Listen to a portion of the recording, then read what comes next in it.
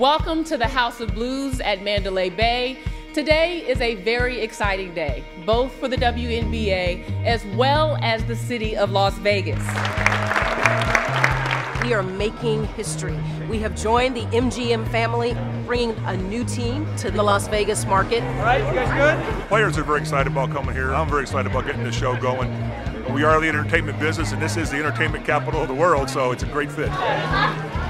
It's exciting. It's an exciting time. I was looking forward to it. Just being able to come here, to walk through the facilities, meet everybody who's behind it, all the excitement behind it. It's going to be a great thing for the city, for the league, for the players, and I'm really excited about it. Welcome to the WNBA family, the Las Vegas Aces.